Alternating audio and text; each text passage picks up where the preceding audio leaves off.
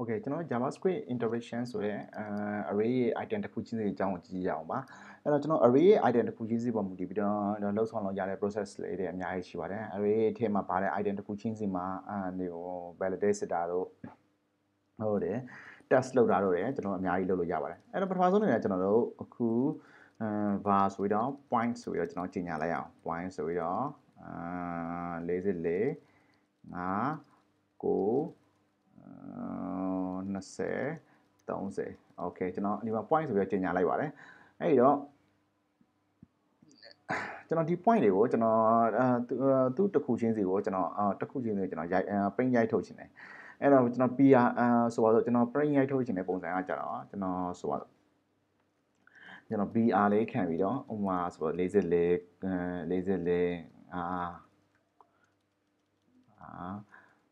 ကိုဒီလိုမျိုး BR လေးခံပြီးတော့ကျွန်တော် print ရလုပ်ချင်တယ်အဲ့တော့ print ရလုပ်ချင်တယ်ဆိုတော့ကျွန်တော်တို့ loop ပတ်ရမှာဖြစ်ပါတယ် loop ပတ်တယ်ဆိုတာတစ်ခုချင်းစီကို loop ပတ်မယ် item တစ်ခုချင်းစီ loop ပတ်ရတာဖြစ်ပါတယ်အဲ့တော့ကျွန်တော်အဲ့လို loop ပတ်ဖို့အတွက်ဆိုရင်အဲကျွန်တော်ဘယ်လိုလုပ်လို့ရရဲဆိုတော့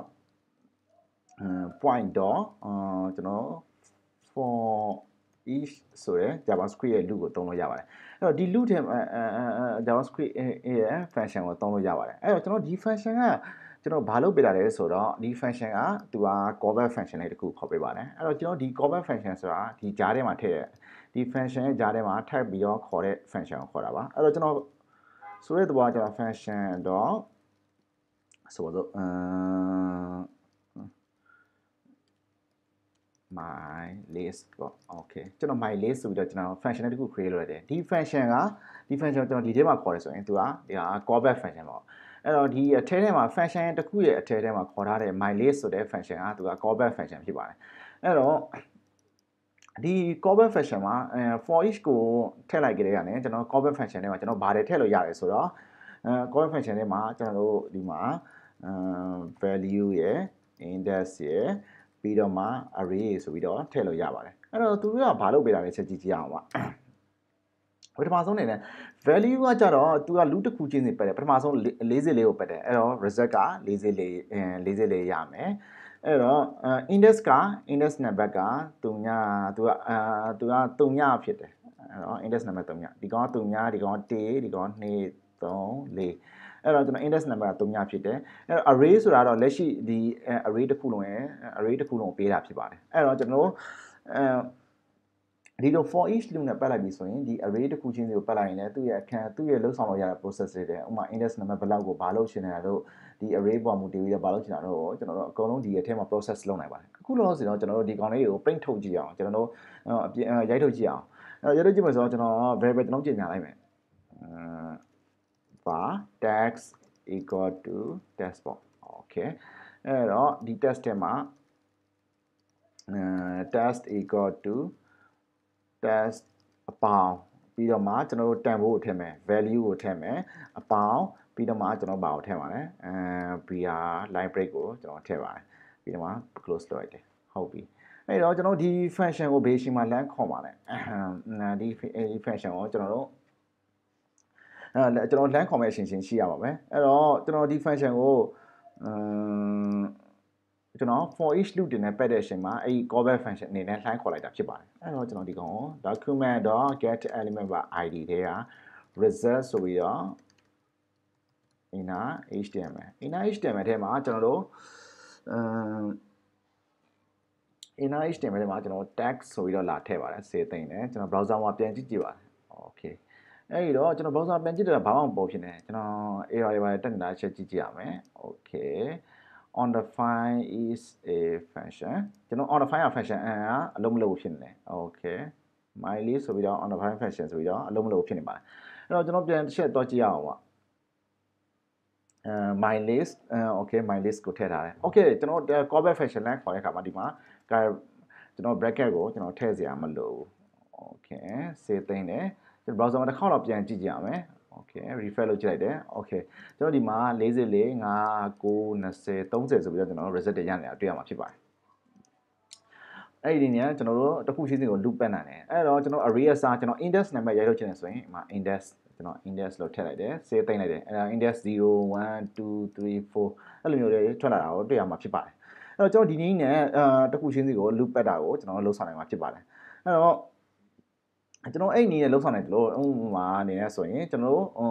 ဆိုပါတော့ဒီတန်ဖိုးတစ်ခုချင်းစီကိုကျွန်တော်သုံးနဲ့မြောက်ချင်တယ်အာဒီတန်ဖိုးတစ်ခုချင်းစီကိုသုံးနဲ့မြောက်ပြီးတော့ကျွန်တော်နောက်ထပ် array လေးတစ်ခုဖန်တီးချင်တယ်ဆိုပါတော့အဲ့တော့ကျွန်တော်အဲ့လိုမျိုးဖန်တီးချင်တယ်ဆိုရင်အာအကုန်လုံးဖြတ်လိုက်မယ်ဘာ points equal to 5 30 40အဲ40 18အဲ 35 okay ကျွန်တော် array တစ်ခုအဲကျွန်တော် array တစ်ခုဖန်တီးလိုက်ပါတယ်အဲ့ဒီ array ကိုမှ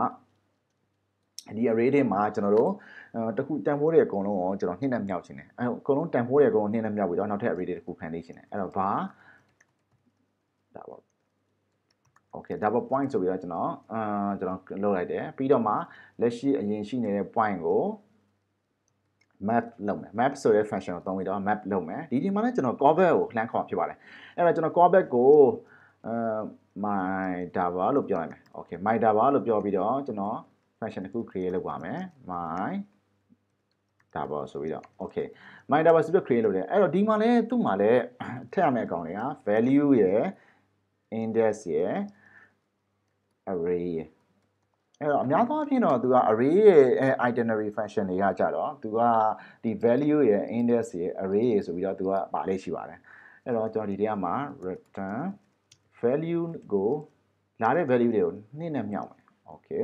စေးသိမ့်မယ်ပြီးတော့မှကျွန်တော်အခုအချိန်မှာကျွန်တော်ဒီအာအလဲဘောလေးရိုက်ထုတ်ကြည့်အောင်အလဲဘောဖြစ်ဖြစ်ကျွန်တော်တို့ document.get element by id ထဲက result ထဲမှာ ဒီနာ HTML ထဲမှာကျွန်တော် Java point လေးတွေကိုရိုက်ထုတ်ကြည့်အောင်ပါ Java point လေးတွေဘယ်လိုပေါ်နေမလဲဆိုတာစေသိမ့်တယ်ကျွန်တော် browser မှာပြန်ကြည့်ကြည့်လိုက်ပါတယ် okay 40 okay သူကအစ20ရှိတာအခု40ဖြစ်သွားပြီ30 60 80 90 okay သူကအကုန်လုံးကို Java value အနေနဲ့သူကသတ်မှတ်သွားတာဖြစ်ပါတယ်အဲ့တော့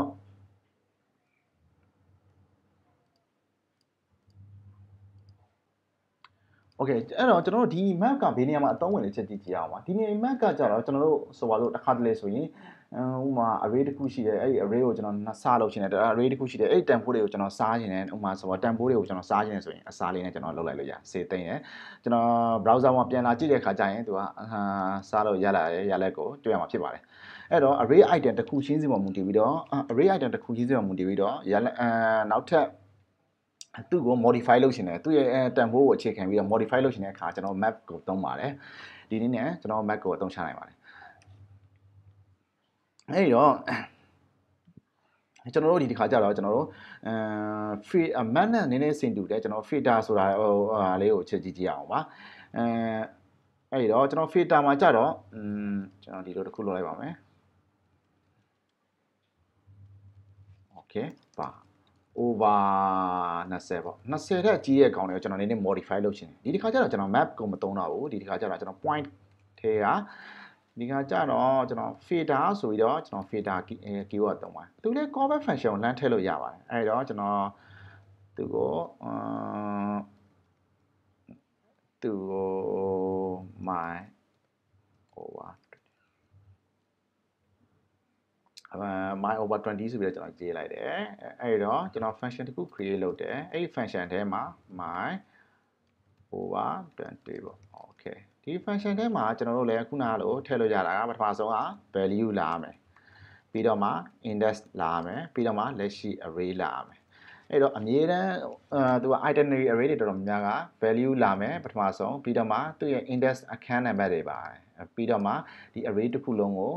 လာပါတယ်အဲ့တော့ ဒီထဲမှာကျွန်တော်တို့ဒီလိုမျိုးလုပ်ကြည့်ရအောင် return တကယ်လို့များ value က value ကအဲ20တက်ပိုကြီးလို့ရှိရင် okay 20တက်ပိုကြီးလို့ရှိရင်ကျွန်တော်တို့အဲ့ဒါကိုနောက်အသေးတစ်ခုနဲ့ဖန်တီးပါမယ်အဲ့တော့ကျွန်တော်ပြန်ပြီးတော့အလဲပေါက်လေးရိုက်ထုတ်ကြည့်အောင်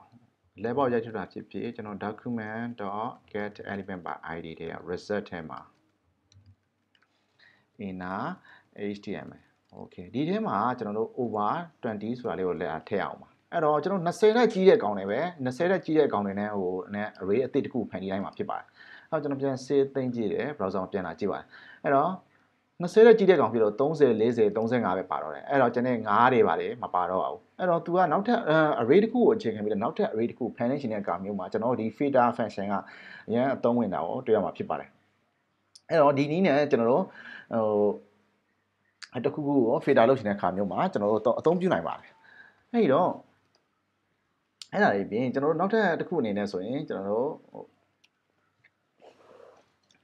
ကျွန်တော် reduce ဆိုတဲ့ function ကြည့်အောင်ပါ reduce ဆိုတဲ့ function ကဘာလုပ်လဲဆိုတော့သူက reduce ဆိုတဲ့ function ကကြတော့ဟိုမှာဆိုပါတော့ကျွန်တော် var ဆိုပြီးတော့ sum ဆိုပြီးတော့တခုပေါင်းပါမယ်အဲတော့ var ဆိုပြီးတော့ point တွေကိုထည့်လိုက်တယ် point တွေကမှာ reduce ဆိုပြီးတော့ထည့်ပါတယ် reduce သူ့ထဲမှာ callback function တခုလမ်းခေါ်မယ်ကျွန်တော်တို့အဲတော့ my uh my function ဆိုလဲရပါတယ် okay my function ပေါ့ okay ပြီးတော့ function တခုကို create လုပ်ပါမယ် function my function ပေါ့ okay ကျွန်တော် function တခု create လုပ်တယ်ပြီးတော့မှသူ့ထဲမှာလည်းအဲကျွန်တော်တို့ဒီ reduce မှာကြတော့ကျွန်တော်တို့ခုနကလိုမဟုတ်တော့ဘူးသူ့မှာကြတော့ထည့်လို့ရတဲ့ time hole လေးနည်းနည်းအဲရှိတော့ပါတယ် total အဲစုစုပေါင်း total time hole ကဘယ်လောက်ရှိလဲ value လာမယ်ပြီးတော့မှ index လာမယ်ပြီးတော့မှ array လာမယ်အဲ့တော့ဆိုတဲ့တဘော total ဆိုတာကတော့ဒီကဏ္ဍအားလုံးပေါင်းရဲ့ total time hole ဒီကဏ္ဍအားလုံးပေါင်းရဲ့ total time hole ဘယ်လောက်ရှိလဲပြီးတော့မှ value တစ်ခုချင်းစီလာမယ်ပြီးတော့မှကျွန်တော်တို့ index လာပါမယ်ပြီးတော့မှ array လာပါမယ်အဲ့ဒီတော့အဲကျွန်တော် total နဲ့အဲဒီကဏ္ဍအားလုံးပေါင်းရင် total နဲ့တစ်ခုချင်းစီတန်ဖိုးကိုပေါင်းကြည့်အောင် return ဆိုပြီးတော့ကျွန်တော်တို့ဒီမှာ total အပေါင်း value ဆိုပြီးတော့ကျွန်တော်ထည့်အောင်ပါအဲ့တော့သူ့ကိုကျွန်တော် about document dot get element by id result ထဲမှာကျွန်တော်ထည့်ပါတယ်ပြီးတော့ inner html ထဲက